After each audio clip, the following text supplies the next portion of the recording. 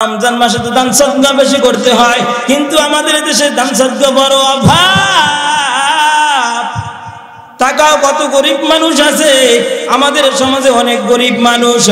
আজকে দেখো কত ধনী মানুষ, টাকার মালিক, টাকা লইয়া জাহাজ করতে আল্লাহ আল্লাহ করতে যায়। করতে যায়। এক নামাজ আদায় করলে এক লক্ষ নামাজের এক নামাজ আদায় করলে পঞ্চাশ রেখাত, পঞ্চাশ হাজার নামাজের সোয়াব। এ মুসলমানি বান্দাল্লার গোলাম। টাকা ওই সবের কোনো লাভ নাই। তুমি হজে যাইতেছ, তোমার প্রতিবেশী বড় গরিব অনেক গরিব, টাকা পয়সা নাই। দেখবা, এরা বড় গরিব, অনেক প্রতিবন্ধী আছে যারা অসহায়। তুমি হজ করতে যাও না কেন? বাইতুল্লাহ জেনাত করো, নবীর কবর জেনাত করো। তোমার ওই প্রতিবেশীকে যদি তোমার হাজার টাকা দিয়ে তুমি ওই লোকটাকে সাহায্য করো, আল্লাহর কসম, ওই লোকটা তোমার ওই দানের বিনিময়ে আল্লাহ রাব্বুল আলামিন ওই বছর যারা ওমরা হজ আদায় করেছে, সকলের ওমরা আল্লাহ কবুল করে নিতে পারে। সকলের আমরা কবুল করে নিতে পারে। সামান্য দানের বিনিময়ে দেখবেন, আজকে আমরা সমাজে কি দান করতে থাকি যে দানগুলো আমরা করি, দান আমাদের হয় না। আল্লাহর রাস্তায় দান করব, দান যদি আমাদের ঠিক মতো না হয়, তাহলে এই দান, এই টাকা পয়সা দিয়ে আমরা কি করব? বাড়ি, গাড়ি ধন দৌলাত আপনি চিন্তা করে দেখেন, এটা আপনার আমার কিছুই কোনো কাজে আসবে না। এই জন্য আল্লাহর ভয় যদি তোমার অন্তরের ভিতরে থাকে, গোলাম, অবশ্যই তুমি হান্ড্রেড পার্সেন্ট আল্লাহ রব্বুল আলমীর বান্দা হতে পারবা। আল্লাহ বলেছেন, ইমানদারের দল, আমি আল্লাহকে ভয় করো, আর এই ভয় যদি তোমার অন্তরের ভিতরে না থাকে, তুমি কখনো সফল হতে পারবা না, তুমি কখনো সম্মানিত হতে পারবা না। দুনিয়া যদি সম্মান পেতে চাও, একমাত্র রবের এই ইত্তাকুল্লাহ, আল্লাহর ভয় তোমার অন্তরের ভিতরে ঢুকাও। রব্বুল আলামিন কোরআনুল কারীমের ভিতরে জানিয়ে দেন ইয়া আইয়ুহাল্লাযীনা আমানু তাকুল্লাহা হাক্কা তুকাতিহি ওয়া লা তামুতুন্না ইল্লা ওয়া আনতুম মুসলিমুন রব্বুল আলামিন তার মহাবিশ্ব মহাগ্রন্থ কোরআনুল কারিমের ভিতরে জানিয়ে দেয় এগুলাম তোমরা যারা আমার উপর বিশ্বাস স্থাপন করেছ, আমার উপর ইমান এনেছো, আমি আল্লাহ রব্বুল আলামিন তোমাদেরকে দুইটা অর্ডার করলাম। এক নাম্বার অর্ডার করলাম, আল্লাহ রব্বুল আলামিন বলেন, ইত্তাকুল্লাহ। আমি আল্লাহকে ভয় করো। আর আমি আল্লাহকে যদি ভয় করতে পারো, ইমানদার হতে পারবা। আল্লাহ রাব্বুল আলামিন এখানে কাফেরদেরকে ডাক দেন নাই, মুশরিকদেরকে ডাক দেন নাই, বিধর্মীদেরকে আল্লাহ ডাক দেন নাই। আল্লাহ ডাক দিয়েছেন, আমানু, হে ইমানদারের দল, তোমরা যারা ইমান এনেছো, শোনো। আমি আল্লাহ রব্বুল আলামিন তোমাদেরকে একটা দুইটা অর্ডার করলাম। এক নাম্বার অর্ডার করল, ইত্তাকুল্লাহ। আমি আল্লাহকে ভয় করো। আর দুই নাম্বার অর্ডার করলাম, খবরদার, মুসলমানের খাতায় নাম লেখাই না লেখাইয়া দুনিয়া থেকে মৃত্যুবরণ করিও না। দুইটা অর্ডার করলেন। যে দুইটা অর্ডার যদি আমরা মানতে পারি, তাহলে আপনি আমি দেখবেন ধন্য হয়ে গেছি। পৃথিবীতে যদি আপনি সম্মানিত হতে চান, যদি সম্মান পেতে চান দুনিয়ার বুকের মাঝে মুসলমানি বান্দাল্লার গোলাম, দুনিয়াতে তুমি যদি সম্মান পেতে চাও, একটা মেডিসিন তোমার অন্তর ভিতরে ঢুকাও। যেই মেডিসিনটার নাম হচ্ছে আল্লাহর তাকোয়া আল্লাহর ভয়। এই তাকোয়া আল্লাহর ভয় যদি তোমার অন্তর ভিতরে থাকে রে মুমিন দুনিয়ায় বসে তুমি কোনো খারাপ কাজে লিপ্ত হতে পারবা না।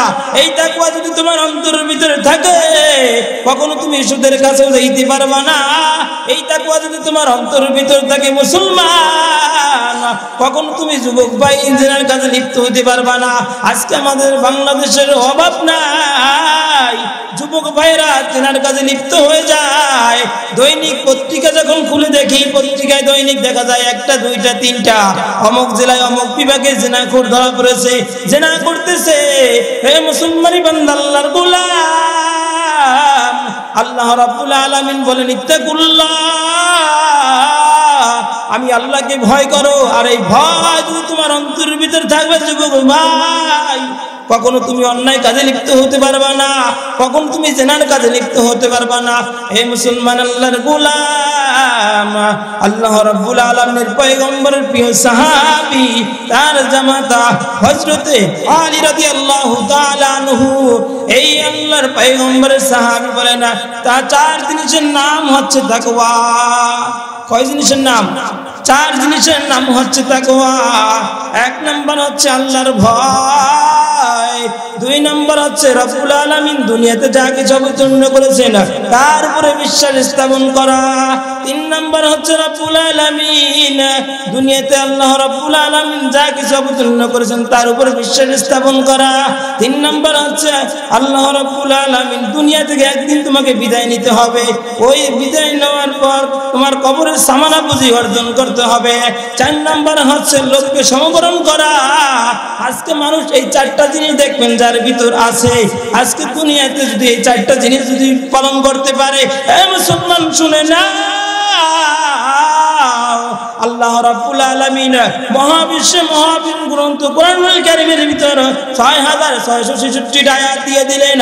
আমি বলতে চাই, এই একটা আয়াত তুমি মানো। দেখবা, তোমার জীবনটা পরিবর্তন হয়ে গেছে।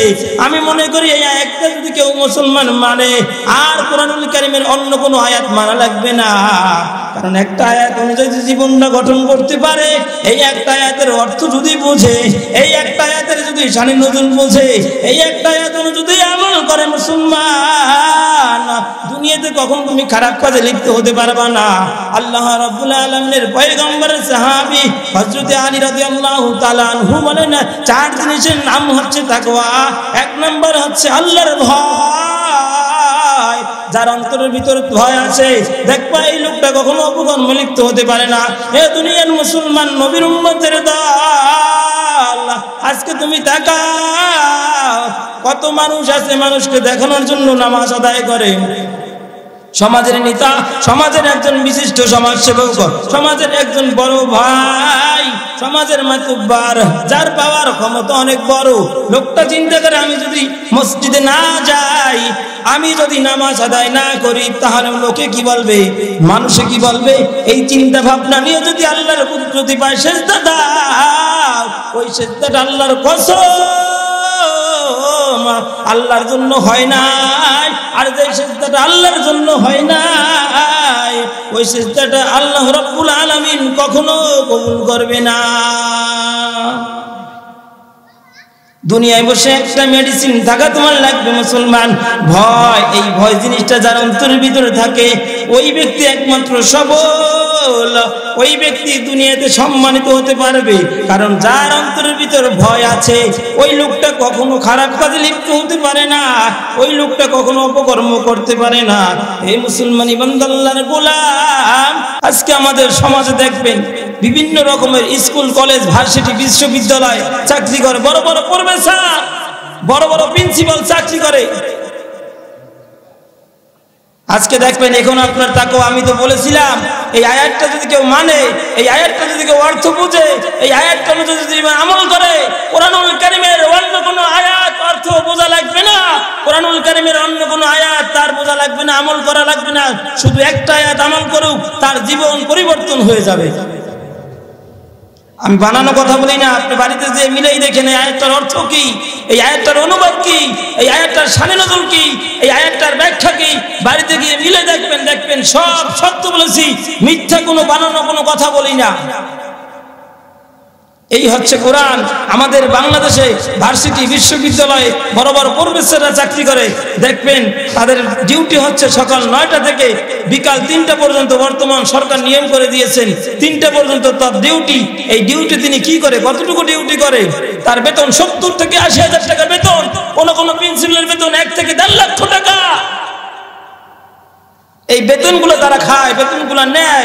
কিন্তু দেখবেন তার ডিউটি সকাল নয় ঘটিকার সময় কলেজের ভিতর প্রবেশ করতে হবে।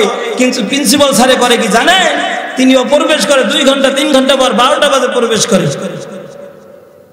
যেই প্রিন্সিপাল যার আসার কথা নয়টায়, ওই প্রিন্সিপাল আসে কয়টায়? বারোটায়। ছাত্ররা আসে, ঘুরে ঘুরে যায়। সার্টিফিকেট লাগবে, বিভিন্ন রকমের স্বাক্ষর লাগবে, কিন্তু স্বাক্ষরগুলো আনতে পারে না। যাই গেলে প্রিন্সিপাল নাই, কোথায়? বাড়িতে। হে প্রিন্সিপাল শোনো, মাইকের সাউন্ড তো অনেক দূর যাইতেছে। যারা তোমরা স্কুল কলেজ ভার্সিটি বিশ্ববিদ্যালয় চাকরি করো, আমার কোনো সমস্যা নাই। কিন্তু আল্লাহ তোমাকে সতর্ক দিয়ে বলেছেন, ইত্তাকুল্লাহ। আমার ভয় তোমার অন্তরের ভিতর ঢুকাও তুমি যে তোমার নয়টা প্রবেশ করার কথা, কিন্তু তুমি প্রবেশ করো নয় প্রবেশ করেছ বারোটায় তোমার দুই ঘণ্টার বেতন তুমি কোথায় থেকে পাবা? এই দুই ঘণ্টার বেতন যদি তুমি নাও, তোমার ওই এক লক্ষ সত্তর অথবা আশি হাজার টাকা বেতন হবে সম্পূর্ণ হারাম।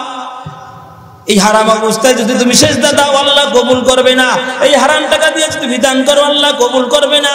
এই হারাম টাকা দিয়ে যদি হজ আদায় করো, একশো বারো যদি হজ আদায় করো, আল্লাহর ওই হারাম টাকার কারণে তোমার আল্লাহ হজ কবুল করবে না।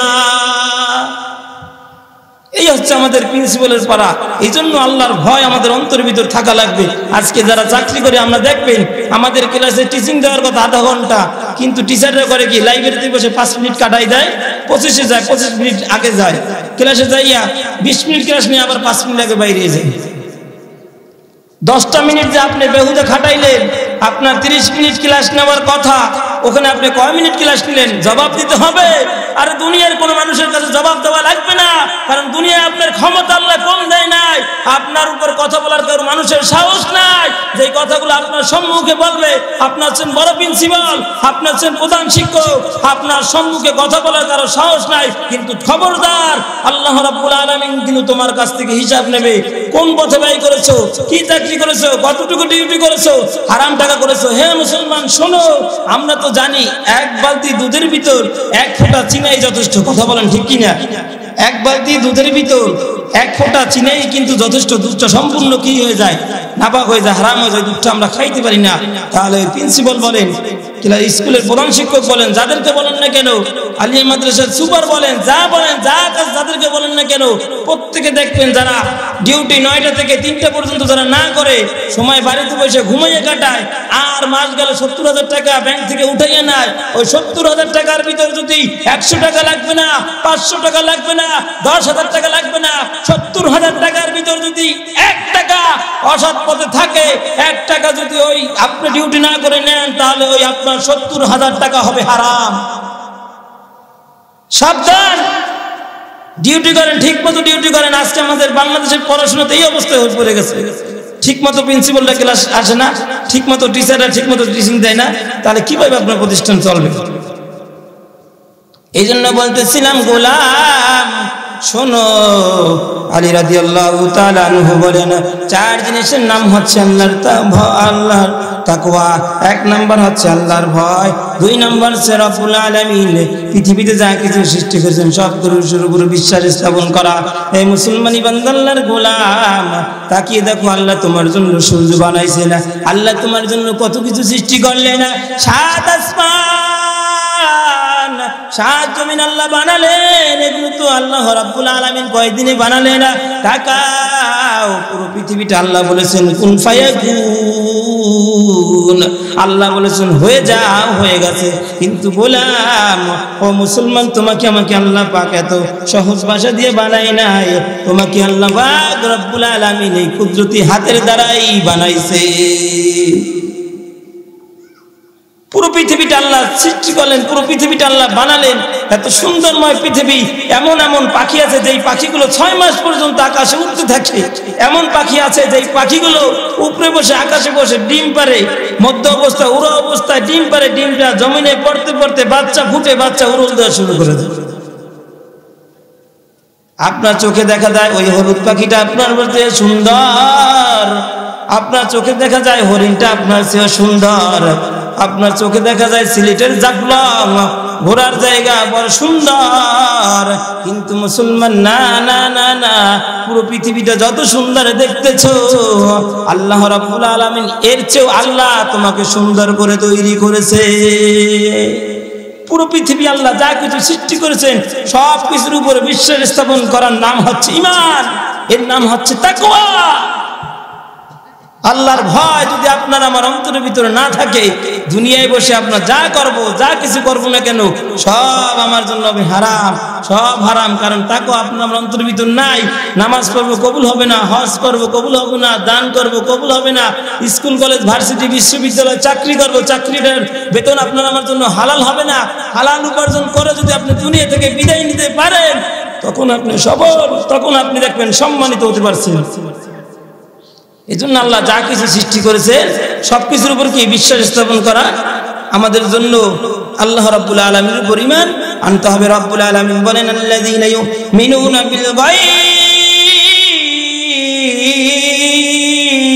গায়ব। রব্বুল আলমিন বলেন, যারা না দেখে ইমান আনে, যারা না দেখে বিশ্বাস স্থাপন করে, একমাত্র তারাই তো পরিগতি পরিগতি মুসলমান, শোনো আল্লাহ রাব্বুল আলমিন, তামাম পৃথিবীতে তোমার দুইটি দৃষ্টি দিয়ে দিল। দেখো ক্যামেরা, যেই ক্যামেরা দিয়ে কত সুন্দর ছবি তোলা হয়, যেই ক্যামেরা দিয়ে সুন্দর সুন্দর ভিডিও করা হয়, কিন্তু আল্লাহ রাব্বুল আলমিন ওই ক্যামেরার যে শত শত শত গুণ আল্লাহ তোমার দুইটা ক্যামেরা দিয়ে দিল। এই ক্যামেরা দিয়ে কত সুন্দর দেখতে পাও, কিন্তু একবারে তো বিশ্বাস স্থাপন করলা না।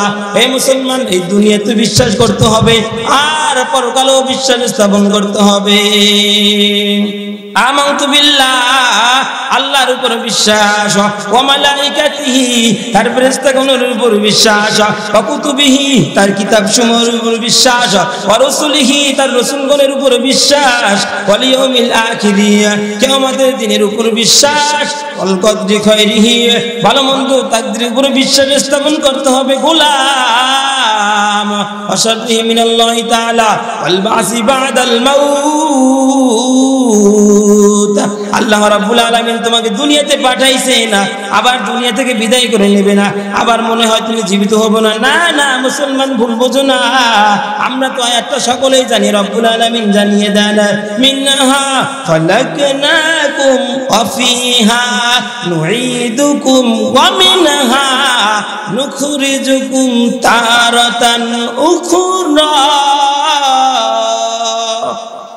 আমি আল্লাহ রাব্বুল আলামিন তোমাকে মাটি দিয়ে তৈরি করলাম।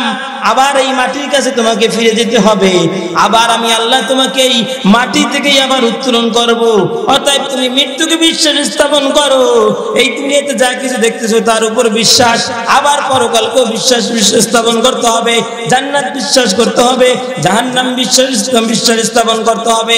আল্লাহ যা কিছু তৈরি করেছেন সব কিছু বিশ্বাস করার নাম হচ্ছে ইমান আর এই সব কিছু বিশ্বাস করার নাম হচ্ছে তাকোয়া আমার পয়েন্টে আজকে তাকওয়া সম্পর্কে আল্লাহ রাব্বুল আলামিনের পয়গম্বরের সাহাবী বলেছিলেন যে, চার জিনিসের নাম তাকওয়া, একটা হচ্ছে আল্লাহর ভয়, দুই নাম্বার হচ্ছে আল্লাহ রাব্বুল আলামিন পুরো পৃথিবীতে যা কিছু সৃষ্টি করেছেন সব কিছুর উপর কি বিশ্বাস? তিন নাম্বার হচ্ছে লোককে সমবরণ করা। আজকে দেখবেন আমরা লোভ করি মানুষ। লোভের লাভ, অতি লোভে তাতি নষ্ট। কথা আছে, এটা জানেন আপনারা? অতি লোভে তাতি নষ্ট। লোভে পাপ, পাপে মৃত্যু। বানানো কথা না, এটা ভাব সম্প্রসারণ আছে, যারা স্কুলে পড়েছে, এরা জানে যে ভাব সম্প্রসারণ, এই ভাব সম্প্রসারণ বড় কঠিন। এটা অনেক কঠিন। লোভে পাপ, পাপে মৃত্যু আজকে আমাদের সমাজে দেখবেন, লোভ করে। যার কারণে আমি বলছিলাম, আয়াতটা পড়বেন। আজকে আপনারা যারা জানেন, অনেক মুরব্বীরা আছেন, আপনার বাড়িতে কোরআন শরীফ আছেন, অর্থ আছে, এই অর্থগুলো পড়বেন, দেখবেন সব কিছু পেয়ে যাবেন। এই আয়াতটা মানলে আপনার জীবনটা সম্মানিত হয়ে যাবেন আপনার জীবনটা পরিবর্তন হয়ে যাবে। যে আয়াতটা অনুযায়ী যদি আপনি আমল করতে পারেন, আমি বলেছিলাম, আল্লাহ রব্বুল আলমিন তাকেও হচ্ছে তাকওয়ার নাম হচ্ছে লোককে সমবরণ করা। আজকে মানুষ দেখবেন লোভ করতে করতে করতে করতে, একসময় লোভ করতে করতে বাড়ি, গাড়ি, দালান, গাড়ি সব কিছু করে ফেলে। কিন্তু একসময় আল্লাহ রাব্বুল আলমিনের মুহূর্তের মধ্যে তার সব কিছু ধুয়ে মুয়ে শেষ হয়ে যায়। সামান্য প্রস্তাব বন্ধ হয়ে যাওয়ার কারণে ঢাকার এক বড় ধনী সেকেন্ডের মধ্যে প্রস্তাব বন্ধ হয়ে যাওয়ার কারণে দুনিয়া থেকে বিদায় নিয়েছেন। তার টাকার অভাব নাই। টাকা দিয়ে তাকে মাটি দেওয়া যায়, এত টাকা, তার পয়সা, তাহলে কি হলো? সামান্য পোশাক বন্ধ হয়ে যাওয়ার কারণে লোকটা দুনিয়া থেকে বিদায় নিয়েছে। অহংকার দেমাগ এই অহংকার দেমাগ নিয়ে যদি দুনিয়াতে চলাফেরা করি, এই অহংকার দেমাগ আপনাকে একমাত্র পতনের দিকে নিয়ে যাবে, একমাত্র ধ্বংসের দিয়ে নিয়ে যাবে। অহংকার দেমাগ এই আমার, আপনার আমার অন্তরের ভিতর থাকতে পারবে না। অহংকার দেমাগ আপনার আমার অন্তর থেকে দূর করে দিতে হবে। তখনই আপনি পরিচিত মুসলমানের খাতায় আপনার নাম লেখা হবে। লোককে সমবরণ করা যেই লোক আপনি যদি করেন, আমরা দেখি প্রতিবেশী আমাদের ভাই একজন ব্যবসায়ী, সাথে আমরা চলাফেরা করি, তার ব্যবসাটা বড় ভালো হয়। ব্যবসা যখন ভালো হয়ে যায়, আমরা চিন্তা করি, ওই লোকটার ব্যবসা বড়, আমি প্রতিবেশী, আমার ব্যবসা ভালো হয় না। চিন্তা করে ওই লোকটার ব্যবসা কীভাবে ঠকানো যায়? চিন্তা করে এই ব্যবসা, ব্যবসাকে কেমনভাবে ডাবিয়ে দেওয়া যায়? এই মুসলমান, শোনো! যত তুমি চিন্তা করো, যত তুমি জ্ঞান খাটাও, তুমি ওই লোকটাকে যদি ধ্বংস করার চেষ্টা করো, আল্লাহ যদি ধ্বংস না করে, তোমার চোদ্দ গোষ্ঠী ওই লোকটাকে ধ্বংস করতে পারবে না। ঠিক কি না? এই হচ্ছে লোভ। লোভ হচ্ছে একমাত্র ধ্বংসের মূল। লোভ আপনাকে ধ্বংস করে দেবে। আমরা ছোটবেলায় ছোটবেলায় পড়েছিলাম। বর্তমানে আছে কিনা জানি না। ক্লাস ফোর ফাইভের ভিতরে একটা গল্প আছে। যে গল্পটা হচ্ছে এমন একটা যে আমি বলি এটা শিক্ষণীয় বিষয়, তাকেও সম্পর্কে আমার বানানো কথা না। এক কাঠুরি বনে কাঠ কাটতে যায়। বনে কাঠ কাটতে গিয়ে কুড়াল নিয়ে যায়, কুঠার। যেটা বলা হয় কুঠার, আবার কুড়াল। আমরা বাংলা ভাষায় বলি, অনেকে কুড়াল বলি, অনেকে কুঠার বলি। এই কুঠার নিয়ে বনে কাঠ কাটতে যায়। কাঠ কাটতে যখন গাছ ওই কাঠুরি বন থেকে কাঠ কিনে বিক্রি করে তার জীবিকা অর্জন করত। জীবিকা অর্জন করার পর ওই বনে কাঠ কাটতে যায়। কাঠ কাটতে যাওয়ার পর তিনি দৈনিক কাঠ কেটে বাজারে বিক্রি করে। একদিন কাঠ কাটতে যায়, যাওয়ার পর তার কাঠ কাঠা অবস্থায় কুড়ালটা পানির ভিতর পড়ে যায়। এবার ওই কাঠুরি গাছের গোড়ায় বসে কাঁদতেছে। অনেক অজস্র কাঁদতেছে। গরিব মানুষ, সামান্য যে একটা অর্জন ছিল, একটা কুড়াল, সেই কুড়ালটা পানিতে পড়ে গেছে। এবার ওই জল পানি থেকে একটা জল পরে উঠল। জল পরে উঠিয়া বলতেছিল, হে কাঠুরি, কেন তুমি কান্না করতেছ? বলে, আমার কুড়ালটা এই নদীর ভিতরে পড়ে গেছে। বলে, দাঁড়াও। জল পরে সঙ্গে সঙ্গে ডুব দিয়া একটা স্বর্ণের একটা কুড়াল নিয়ে উঠল। কুড়াল নিয়ে উঠলে বলে, এই কুড়ালটা কি তোমার? বলে, না, এই কুড়ালটা আমার না। আবার জলপুরে চলে গেলেন। জলপুরে গিয়ে আবার একটা উঠলেন। উঠার পর আবার একটা রূপার কুড়াল উঠালেন। উঠাই বলেন এই রূপার, এই কুড়ালটা কি তোমার? বলে, না, এই কুড়াল তো আমার না। আবার জলপুরে ডুবে গেলেন। ডুবে আবার একটা কুড়াল উঠালেন। কুড়ালটা উঠে বলে, এই কুড়ালটা কি তোমার? বলে হ্যাঁ এই কুড়ালটা তো আমার। লোহার একটা কুড়াল উঠাইলেন বলেন, এই কুড়ালটা আমার। বলে, তোমার সততা দেখে তোমার ভিতর অন্তরের ভিতর কোনো অহংকার নাই, তোমার অন্তরের ভিতর কোনো দিমাগ নাই, তোমার অন্তরের ভিতরে দেখলাম কোনো লোভ নাই, লোভ লালসা নাই। আমি এই করি তোমাকে, তোমার এই লোভ লালসা না থাকার কারণে আমি তোমাকে তিনটে কুড়ালে দিয়ে দিলাম। কাঠুরি হাসতে হাসতে বাড়ি যাইতেছিলেন আর এক কাঠুরির সঙ্গে দেখা। এত কুড়াল পাইলে কোথায় স্বর্ণের কুড়াল? স্বর্ণের কুড়াল কোথায় পাইলা? তিনি বলেন, আমি বাগানে গিয়েছিলাম, কাট কাটতে আমার কুড়ালটা যখন পড়ে যায়, আমাকে জল পরে এই কুড়ালগুলো সব আমাকে দিয়ে দেয়, উঠাইয়া। এখন ওই কাঠুরি তো লোক করছে, খাইছে তো? স্বর্ণের কুড়াল পাইয়া গেছে, রূপার কুড়াল পাইয়া গেছে তো আমারও যাওয়া দরকার। সকলে নিয়ত করছেন, যাইতেছেন। গামছা একটা পেশাইয়া লুঙ্গি পরিয়া যাইতেছেন বনে কাঠ কাটতে কুড়াল নিয়ে। কাট কাটতেছেন কাট কাটতেছেন, ইচ্ছা কইরা কুড়ালটা পানির ভিতর ফালাই দেয়। নদীর ভিতর ফালিয়ে দেয়। ফালিয়ে দেওয়ার পর এখন তো কান্না করতেছে। এখন পরিতে উঠতেছে না। এখন ভাবের কান্না করতেছে। অনেক জোরে কান্না করতেছে। কান্না করতে করতে করতে চোখের পানি অজস্র পড়তেছে। এবারে জল পরে উঠল। কি হয়েছে তোমার? বলে, আমার একটা কুড়াল আসলে কুড়ালটা পানির ভিতরে পড়ে গেছে। বলে, ও বুঝতে পারছি। জলপুরি ডুব দিলেন। ডুব দেওয়ার পর আবার যখন উঠলেন, উঠার পর জলপুরি উঠে আবার বলতেছিলেন যে, একটা কুড়াল উঠাইলেন উঠাইয়া তিনি একটা স্বর্ণের একটা কুড়াল উঠাইলেন। উঠাইয়া বলতেছে, এই কুড়ালটা কি তোমার? কাঠুরি দেখে তো মনে করে, না, লোভ মানাইতে পারে না। খাইছে তো। এই একটা কুড়াল আবার যদি না পাই যদি এই দুইটা না দেয়, তাহলে স্বর্ণের কুড়ালটাই আমি লইয়ে যাই। মনে চিন্তা ভাবনা করি অনেক মনে করেন, মনের ভিতরে একবারে আনন্দ, খুশি, ভরা। এখন কয়, হ, এই কুড়ালটাই আমার। যখন এটা বলছে, কুড়াল স্বর্ণের কুড়ালে যে ডুব দিছে, আর পরের কোনো খোঁজ খবর নাই। তাহলে কি হয়েছে? আমও গেছে সালাও গেছে। কি বলেছেন? আমও গেছে সালাও গেছে। কথা এটার বাংলা কথা আমও গেছে সালাও গেছে। মানে সব গেছে লোয়ারগুলো ছিল তাও কি চলে গেছে। এই জন্য লোক করা যাবে না। লোভ একমাত্র ধ্বংসের মূল। অহংকার করা যাবে না, হিংসা করা যাবে না, দেমাগ করা যাবে না মুসলমান। শোনো, তোমার অন্তরের ভিতর অহংকার যদি জমাইয়া শেষ দাদা তোমার অন্তরের ভিতর অহংকার জমাইয়া যদি দান করো, তোমার অন্তরের ভিতর অহংকার, হিংসা, দেমাগ নিয়ে যদি আল্লাহর ঘর আল্লাহর ঘর তপ করো, আল্লাহর কসম। কখনো আল্লাহ রাব্বুল আলামিন তোমার আমল কবুল করবে না। অতএব মুসলমান একটা মাথায় চিন্তা করে দেখো, এই লোভ লালসা করা যাবে না। আলী রাদিয়াল্লাহু তাআলা আনহু বলেন, চার জিনিসের নাম তাকওয়া। আমি বলেছি তিনটা। একটা বললাম, ভয়। দুইটা হচ্ছে, আল্লাহ যা কিছু সৃষ্টি করেছেন সব কিছুর উপর বিশ্বাস। তিন নাম্বার হচ্ছে, লোভকে সমবরণ করা। আর চার নাম্বার হচ্ছে, কবরের সামানা পুঁজি অর্জন করা। জানি আমরা, কুল্লু নাফসিন জায়গাতুল মাউত। এই আয়াতটা আমাদের সকলের মুখস্থ, ছোট্ট ছোট্ট বাচ্চাদের মুখস্থ। কারণ মানুষ যখন মৃত্যু হয়, এই আয়াতটাই আমরা অনেকেই, অনেক আলেমোলাম আছে, অনেক আছি, যারা এই আয়াতটা দিয়ে কিছু মানুষের বুঝাই যে দুনিয়াতে থাকার জায়গা নাই। এই মুসলমান, দুনিয়া থেকে যদি বিদায় নিতে হয়, ওই কবরের সামানা পুঁজি নিয়ে তোমাকে যাইতে হবে। আর যদি কবরের সামানা পুঁজি নিয়ে না যাইতে পারো, আল্লাহর কসম, আল্লাহ রাব্বুল আলমিন তখন কিন্তু এই মাটি তোমাকে সাক্ষী দিয়ে, মাটি চাপ দেবে ইতিহাস আমার বলার দরকার নাই। ওই মাটিতে যতই তোমাকে দেখব, চাপ দেবে, এমন চাপ দেবে, শরীরের সব হাড্ডিগুলো চুরমুর করে ভাঙতে থাকবে। অতএব মুসলমান, রব্বুল আলমিন দুনিয়াতে আল্লাহ তোমাদের কি পাঠাইছেন? আল্লাহর ভয় যদি তোমার অন্তরের ভিতরে থাকে, এই মেডিসিনটা যদি তোমার অন্তরের ভিতরে থাকে, গোলাম! কখনো তুমি অপকর্মে লিপ্ত হতে পারবা না। আজকে দেখবা সমাজে, আজকে যারা চাকরি করে, পুলিশ বলেন, আর্মি বলেন, বিডিআর বলেন, এরা তো সবচেয়ে বড় সরকারি কর্মকর্তা। আমি তাদের কোনো বদনাম করতেছি না। কিন্তু দুই একটা কথা বলানোর জন্য বলতে চাই, কয়েকজন পুলিশ আছে ডিসিএসপি বড় পুলিশ। কিন্তু দেখবেন এদের বেতন হয় তিরিশ হাজার টাকা। শুধু তাই নয়, সরকার এদের সব যাবতীয় খরচপাতি দেয়। তেল দেয়, ডাইল দেয়, চাল দেয়, লবণ দেয়, সব সাবান, তেল সব কিছু দিয়ে দেয়। শুধু তাই নয় সন্তানের লেখাপড়ার জন্য সব কিছু দিয়ে দেয়, স্ত্রীর যা লাগবে সব কিছু দিয়ে। যায় তাহলে তোমার কি লোভ? তোমার কি কি লোভ তোমার? আজকে তুমি জনগণের কাছ থেকে, পাবলিকের কাছ থেকে একজন মানুষকে যখন ধরো, ধরার সঙ্গে সঙ্গে গ্রেপ্তার করো, গ্রেপ্তারের ভয় দেখে ইয়া পাঁচ হাজার টাকা, দুই হাজার টাকা নেও, নিয়ে সঙ্গে সঙ্গে পকেটে ঢুকাও।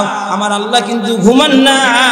আল্লাহ ইলাহা ইল্লাহুল হাই الحي القيوم لا تأخذه سنة ولا نوم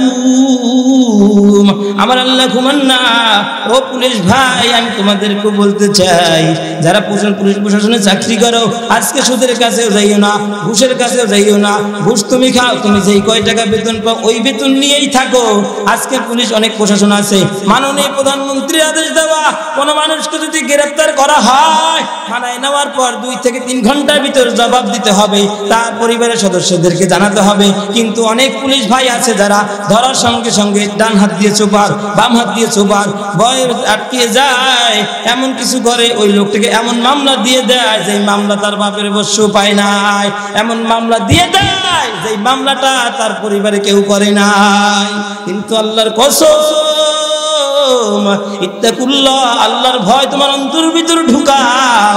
আজকে তুমি প্রশাসনে চাকরি করতে পারো, বাধা নাই। তবে হ্যাঁ এই সব কিছু করো না, আল্লাহর ভয় অন্তরের ঢুকাও। তুমি যে বেতন পাও, ওই বেতন দিয়ে চলাফেরা করো। তুমি যে বেতন পাও, ওই বেতন নিয়ে চলো। আর যদি এই আলাদা কোনো টাকা পয়সা খাও, আল্লাহর কসম, দুনিয়ায় বসে কিন্তু হিসাব দিতে হবে।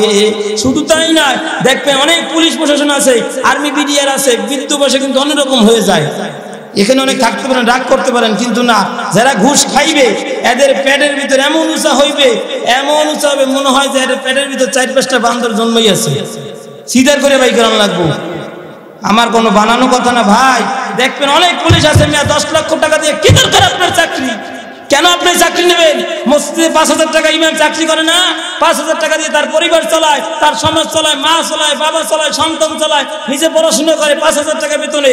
তোমার তিরিশ হাজার টাকা বেতন, পুরো পরিবারে তেল, ডাল সব কিছু দিয়ে দেয়। তারপরে তোমার অভাব দূর হয় না, তারপরে তোমার ঘুষ খাওয়া লাগবে, তারপরে তোমার হারাম টাকা খাওয়া লাগবে। এই হারাম টাকা খাইয়া দুনিয়া থেকে যদি বিদায় নাও, আল্লাহর কসম, দুনিয়া থেকে বিদায় নেওয়ার পর আল্লাহ সঙ্গে সঙ্গে তোকে জাহান নামে নিক্ষেপ করবে। তোর বলুন, ঠিক কিনা? এই মুসলমান ইবান্দ আল্লাহর গোলাম, দুনিয়ায় এমন একটা কাজ করতে হবে, যেই কাজ আল্লাহর অন্তরের ভিতরে রাখতে হবে। আপনি যে ডিপার্টমেন্টে চাকরি করেন না কেন, আমি কয়েকদিন আগে বরিশাল সফর করলাম, এক মসজিদে নামাজ আদায় করলাম। দেখলাম একজন একজন ভাই সিভিল পোশাকে নামাজ আদায় করতেছে। আমি বসলাম, আমিও সুন্নত পড়লাম। ওই ভাই সুন্নত পড়তেছেন পরে সব মুসল্লি যখন বেরিয়ে যায়, ওই লোকটা আল্লাহর দরবারে হাত তুলে না। হাত তুলে আর অজস্র কান্না করতেছেন। লোকটার মুখে দাড়ি, মাথায় টুপি, কিন্তু সিভিল পোশাক। অন্য পোশাক পরা চিনতে পারি নাই। আমিও বসেছিলাম, দেখতেছিলাম ওই লোকটার কারও না লোকটা অজস্র কান্না করতেছে কান্না করতেছে। আমি বেরিয়ে গেলাম, দেখলাম মসজিদের বাহিরে একটা গাড়ি। গাড়িতে একজন ড্রাইভার বা জিজ্ঞাসা করলাম, ড্রাইভার ভাই লোকটাকে? বলে হুজুর এই লোকটার কেউ না। এই লোকটা হচ্ছেন বড় একজন পুলিশ অফিসার ডিসি। বলে, কেন কান্না করে? বলে, হুজুর, এই সারে যখন নামাজ পড়তে আসে, দৈনিক পাঁচ অক্ট নামাজ আদায় করতে আসে, আর ওখানে বসে বসে দৈনিক রবের দরবারে কান্না করে। অজস্র চোখের পানিগুলো ঝরে। ও পুলিশ, ভাই, তোমরা যারা পুলিশে চাকরি করো আর্মিরা যারা আর্মিতে চাকরি করো, যারা পুলিশ প্রশাসনে চাকরি করো, সরকারি কর্মকর্তা ডিপার্টমেন্টে চাকরি করো, আমি তোমাদের কি বলতে চাই কিছু হারাম টাকা খাইবা না, অসৎ পথে চলবা না, হারাম টাকা যদি লাইন পকেটে ঢুকাও, আল্লাহর কসম ওই পকট আল্লাহ কিন্তু ফুটা করে দেবে। থাকবে না, হারাম টাকা কখনো থাকবে না? মুহূর্তের মধ্যে সব কিছু ধ্বংস হয়ে যাবে। আর মেয়া, বাংলা রব্বুল আলমিন অজস্র অক্সিজেন আপনার জন্য দিয়েছে, কিন্তু এমন অক্সিজেন ব্যবহার হয়, এমন অক্সিজেন আল্লাহ রব্বুল আলমিন শেষ সময় দেখবেন অক্সিজেন ব্যবহার করা লাগে, এক লক্ষ টাকা দৈনিক বিল দেওয়া লাগে। মুহূর্তের মধ্যে সব টাকা ধ্বংস হয়ে যায়। তাহলে কি হবে আপনার টাকা দিয়ে, কি হবে পয়সা দিয়ে? দিন দিন শেখেন, ইসলাম শেখেন, আল্লাহর কোরআন বোঝে যদি কোরআন বোঝে, যদি আমল করতে পারেন, আল্লাহ রব্বুল আলমিন দুনিয়া তো আপনাকে সফল দেবে। অনেক পুলিশ ভাই আছে, পাঁচ অক্ট নামাজ পড়ে। অনেক পুলিশ ভাই আছে, সকাল সন্ধ্যা কোরআন শরীফ পড়ে। অনেক পুলিশ ভাই আছে, যারা দিন, দিনের পথে চলে, পাঁচ অক্ট নামাজ পড়ে, মুখে দাড়ি এবং জুব্ব পরে আর তুমি কেন পড়তে পারবে না, সিগারেটটা খাও, রাস্তাঘাটে দেখাও, তোমার বাবার, তোমার ক্ষমতা, এই ক্ষমতা কোনো কাজে আসবে না। যদি আল্লাহকে তুমি চিনতে না পারো, আর আল্লাহর ভয় যদি তোমার অন্তরের ভিতর না ঢুকাতে পারো। এই জন্য মুসলমান রব্বুল আলমিন, মানুষের উপর আমরা জুলুম করে থাকি, সময় কম থাকার কারণে আলোচনা সংক্ষেপে যাইতেছি।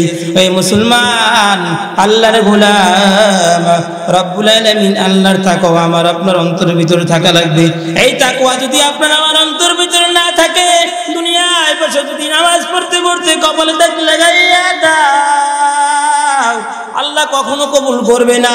এই কপাল এমন ইবাদত বন্দিগি করতে করতে যদি নিবর জিন্দিগি পার করে দাও, আমার তুমি যে আমল করেছ, নামাজ পড়েছো, হজ করেছ জাকাত দিয়েছ, মা বাবার খেদমত করেছ, কিন্তু এই আমলের ভিতর আল্লাহর ভয় নাই, অর্থাৎ তাকওয়া নাই, আল্লাহর কসম। আল্লাহ কখনো তোমার একটা আমল আল্লাহ কবুল করবে না। কেমন ভয় ছিল এক আল্লাহর বান্দা, দেখবেন, একটু শুনেন, অল্প সময়ের মধ্যে এই কথাটা বলব। আমি কোনো বানানো কথা বলি না। এই জন্য এক বলতেন, এক যুবক মদিনা শহরে যাবেন তার বাড়ি থেকে সাড়ে তিনশো কিলোমিটার পর দূর। কীভাবে যাবেন? মদিনা শহরে যাওয়ার বড় আশা। মদিনার নবীর কাছে যাওয়া বড় আশা। লোকটা চিন্তা ভাবনা করলেন, কীভাবে যাব? উঠটা একটা উঠিয়া মদিনার দিকে রওনা হলেন।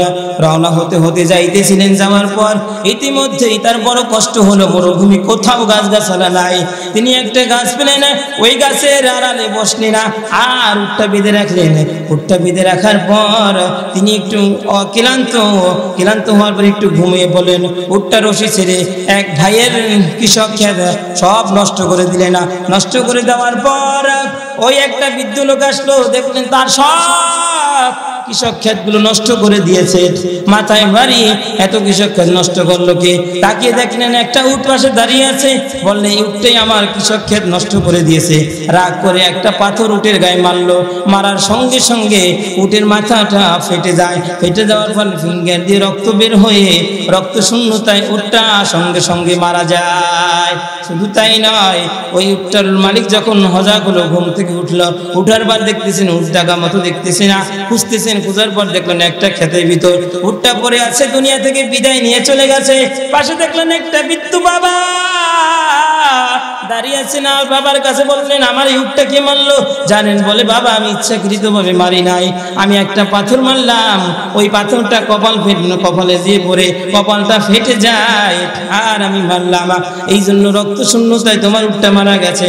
জবাব দিয়ে বলে না, ওই লোকটাও একটা ঘুষি মারলো বিদ্যু বাবাকে। বিদ্যু বাবাকে ঘুষি মারলো, পর পিছন দিকে ফিরিয়ে পিছন দিকে পড়ল। পিছনে একটা পাথর ছিল, মাথাটা ফেটে যায় বিদ্যু বাবারও। মাথা ফেটে রক্ত শূন্যতায় বিদ্যু লোকটাও মারা যায়। ওই বৃদ্ধ লোকের দুইটা সন্তান দেখতেছেন, সন্ধ্যা হয়ে যায়, এখন আমার সন্তান আসতেছে না। কোথায়? আমার বাবা বৃদ্ধ হয়ে গেছেন, আমরা খুঁজতেছি। খুঁজতে খুঁজতে তারা ক্ষেতের ভিতর আসলো। ওই খেতে আসে দেখেন তার বাবা পড়ে আছে। পাশে একটা উট পড়ে আছে, আর একটা যুবক ভাই দাঁড়িয়েছে ও মুসলমান, শোনো, ওই যুবক ভাই বৃদ্ধ লোকটাকে মারছে। তার অন্তরের ভিতর আল্লাহর ভয় ছিল তাকুয়া ছিল, বিদায় লোকটা দাঁড়িয়েছিল আর যদি তার অন্তরের ভিতর তাকুয়া না থাকতো, লোকটা যদি সরে যাইতো, পৃথিবীর দেখতো না, কোনো মানুষও জানতো না, তিনি একজনকে বিশ্বাস করেছেন, রবকে বিশ্বাস করেছেন, একমাত্র স্রষ্টাকে বিশ্বাস করিয়া লোকটা দাঁড়িয়েছেন বলেন, আমার বাবাকে কে মানলো বলে, ভাই, আমি ইচ্ছা করে মারি নাই, একটা ঘুষি দিয়েছিলাম, পিছন দিকে পরে মাথা ফেটে, তোমার বাবা দুনিয়া থেকে বিদায় নেয়। বলে, মারি না। বলে, না মারলে কিছু করার নাই, তাহলে চলো, আমরা মদিনার ওমরের দরবারে যাই, ওমরের আদালতে চলে যাই, ওমর যে সিদ্ধান্ত নেব, ওই সিদ্ধান্তই আমরা মানবো। তিনজন লোক চলে গেলেন, ওই বৃত্তর দুইটা সন্তান। ওই অমরের কাছে বলতেছেন খলিফাতুল মুসলিমিন, অমর, আমার বাবাকে এই লোকটা খুন করেছে। বলে, কি খুন করেছে? বলে হ্যাঁ আমি খুন করেছি, দোষী। বলে, খুনের পরিবর্তে খুন, অতএব তোমাকে এখন ফাঁসি দেওয়া হবে। তোমার কোনো ইচ্ছা আছে কিনা? লোকটা বলেন নো খলিফা, আমার একটাই ইচ্ছা আছে লোকটাকে ফাঁসি দেওয়ার জন্য প্রস্তুত হয়ে যায়। বলে, মৃত্যুর আগে তোমার কোনো আশা আছে কিনা? বলে হ্যাঁ হ্যাঁ আমার বাড়ির পাশে এক ইহুদির দোকান।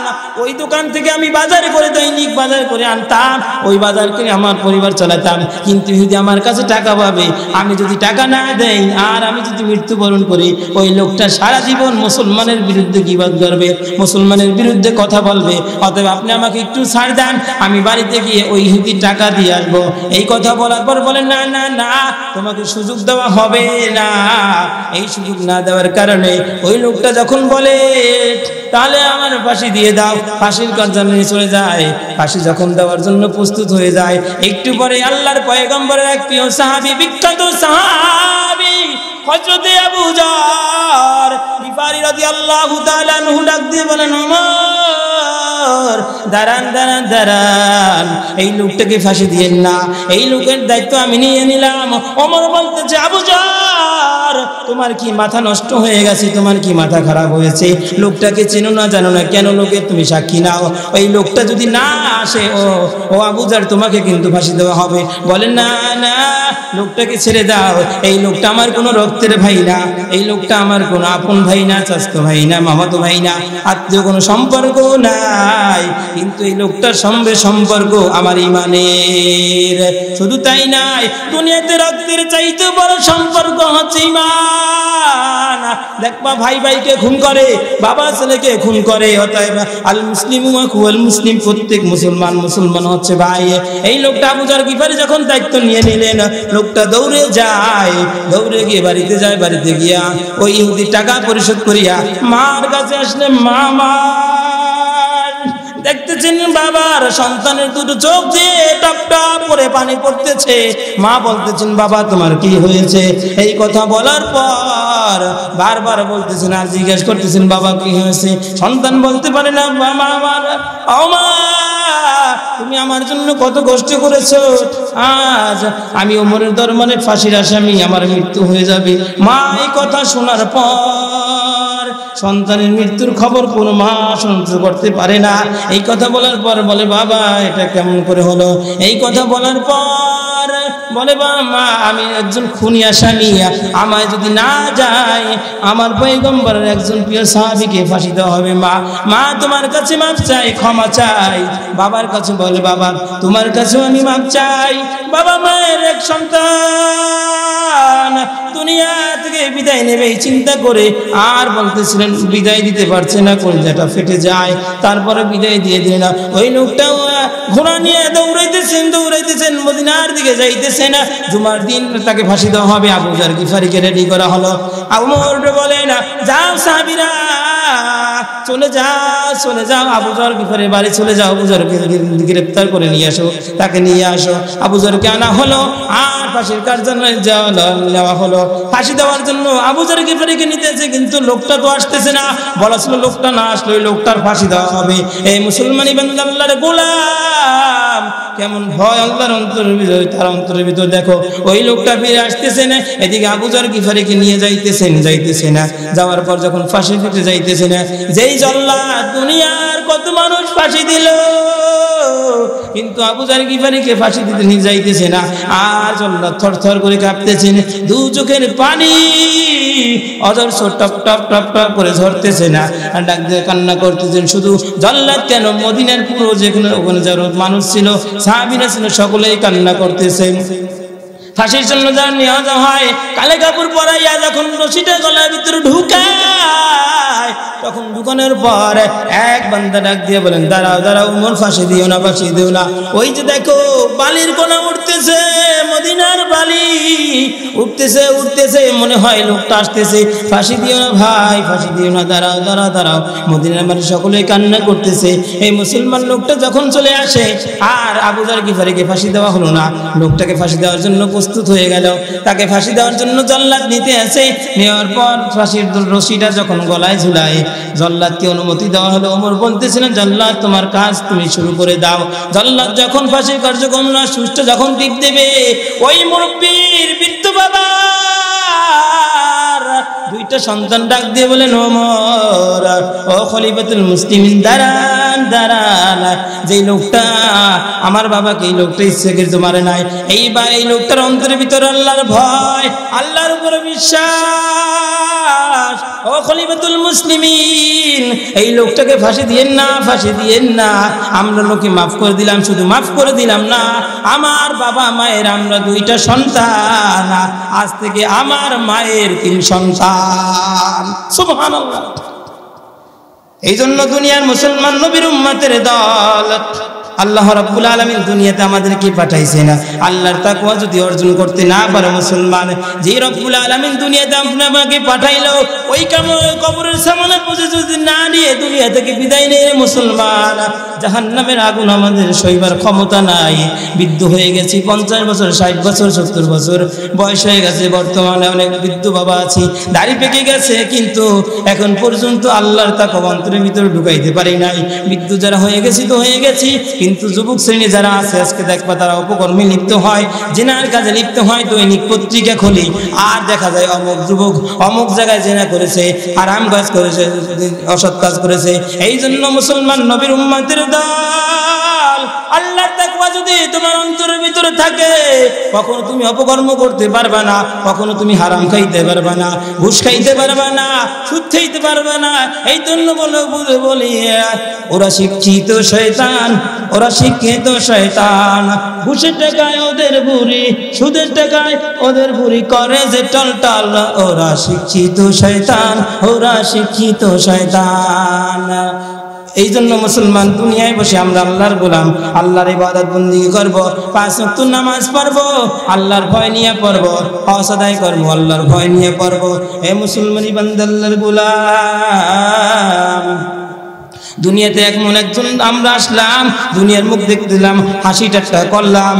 দুনিয়া এই জিন্দিগি আমরা যতক্ষণ কাটাইলাম যে জিন্দিগি আমাদের জিন্দিগি না, যেখানে আমাদের চিরস্থায়ী থাকতে হবে, ওই চিরস্থায়ী সামানা পুঁজি অর্জন করতে হবে। আজকে সুন্দর একটা আয়োজন করেছে না আজকে যুবক ভাইরা পরিবর্তন হয়ে গেছে। যাত্রা গান দেয় না, গান দেয় না কনসার্ট দেয় না, কিন্তু জান্নাতে না গান একটা বাগান তৈরি করেছেন। এখানে চব্বিশতম বার্ষিক ওয়াজ মাহফিল, এই ওয়াজ মাহফিল তো একমাত্র যুবকদের উদ্যোগে এলাকাবাসীর উদ্যোগে হইতেছে। এখানে কনসার্ট দিতে পারতো, এখানে যাত্রা গান দিতে পারতো, এখানে সার্কাস দিতে পারতো। এগুলো না দিয়ে আল্লাহর কোরআনের মাহফিল দিয়েছেন হে মুসলমান। আজ থেকে ইস্তেকবার করে নাও জীবনে, আর গুনার কাজ করবা না। আর হারাম খাইবা না, অসৎ পথে চলবা না, গুনার কাজ করব না। মা বাবা যাদের আছে মা বাবার খিদমত করব, দিনের পথে চলবো, পাঁচ নামাজ আদায় করব।